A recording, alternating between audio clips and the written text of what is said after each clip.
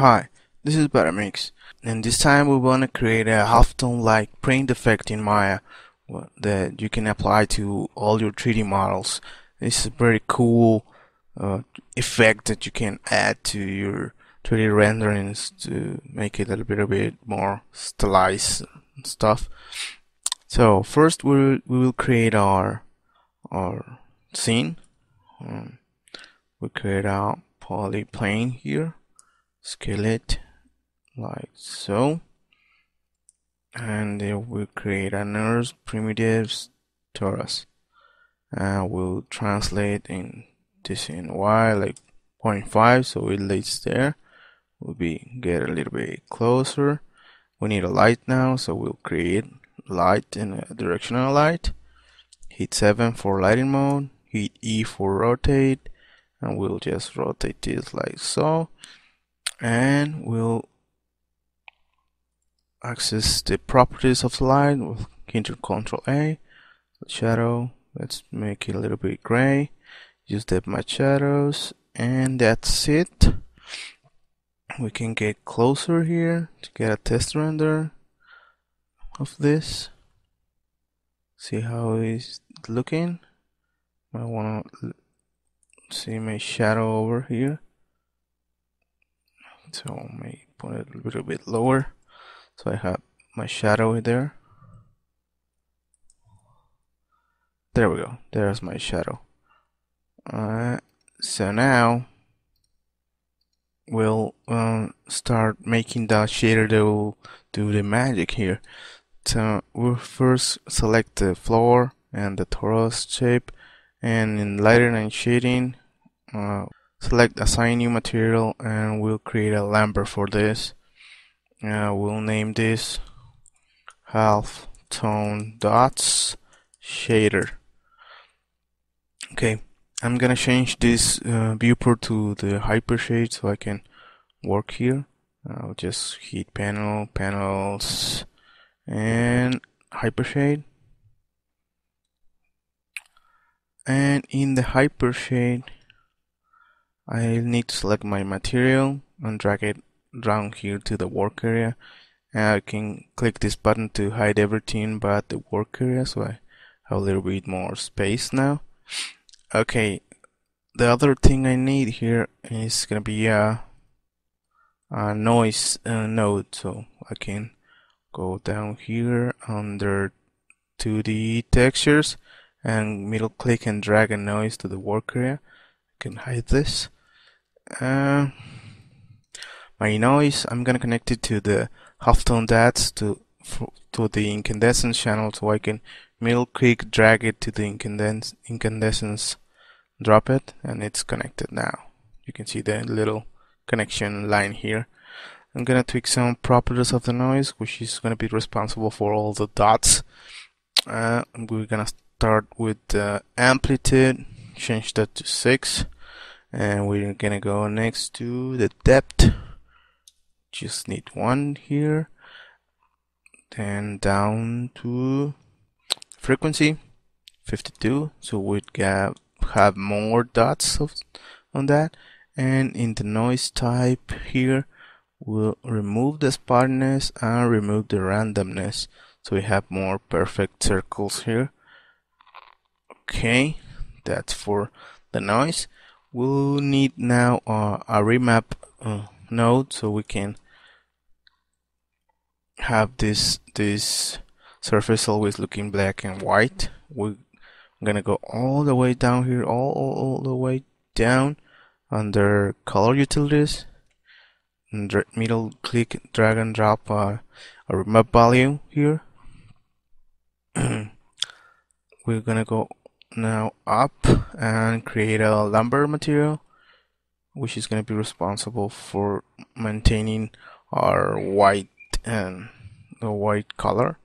So we'll click in the material on the Lambert and we'll be putting this all the way to black to white excuse me and the look way to diffuse all the way to one. And that's it for that. We're gonna connect the Lambert to the input value here but we're gonna connect it a little bit different So we'll middle click, drag over to the remap value and choose other. This brings up the connection editor and we're gonna connect the output or output color red. So go down side, expand out color, choose out color red and click in the right side, click input value. That will effectively effectively connect those two. And you can see the connection here. If you put the mouse in there, you can see the connection that is made. Now the remap value, we're gonna just invert this. You're clicking that, you, you just need to invert those values here. Just put this down and put this up and that's it. That's all we're going to do to the remap value. So we can invert those values there. We're gonna connect the remap value to the density of the noise. So click in the noise and bring out the density down here and the, the noise type. And middle click drag the remap value to the density. You can already see we have some results here. Uh, but if you take a render now if we take a render now you'll see that we have those big dots here. And and this is uh, inverted so we need to invert the color so we need black dots and the paper will be white. So close this and go back into the noise noise node and click on it and all the way down here under effects under effects click invert. So if you test render again you see that we have now black dots and white paper but dots are big here for this surface and this are mm, bit weird on this surface. So we, we need to project this on the camera. So all the, the dots seem like a real half-tone effect. So to do that we'll need a projection node. So we'll create a projection node which is down here. Middle click drag it. And we'll connect this to the incandescence incandescence of the node. Okay so we just middle click drag here and connect it to the incandescence so it replaces the all connection uh, we'll connect the noise noise to the image of the projection. So click the projection find the image property and middle click drag the noise there. So it connects it. In the projection we'll need to change the projection type to uh, perspective.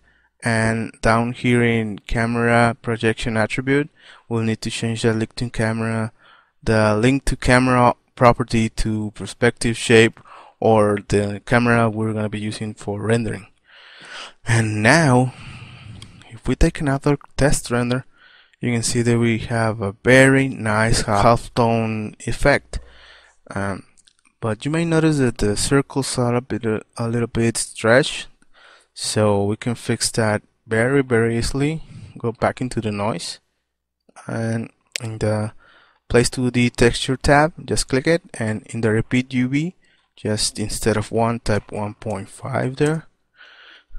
And that'll make that will make our circles perfect. If you take another test render you can see that you have a very very nice um, half tone effect. If you go back to perspective view here you can see that if we can render we can render this effect for any view now from any side. If we have a an, an animation it will be this will be very cool to see all of your uh, scene being uh, half tone effect. Well guys this has been this has been I know this is maybe a little bit confusing so to some of you but this is a very cool effect that you can use in your productions. And this is a very cool introduction to some of the hypershade nodes uh, utility nodes in Maya that you can uh, use to make great effects and we will exploring some other effects some other time. Hope I can see some of your effects in the forums and mm, share with the other guys what you have done with this and other tutorials. That's it for today. This is BetterMix for CreativeCow.net.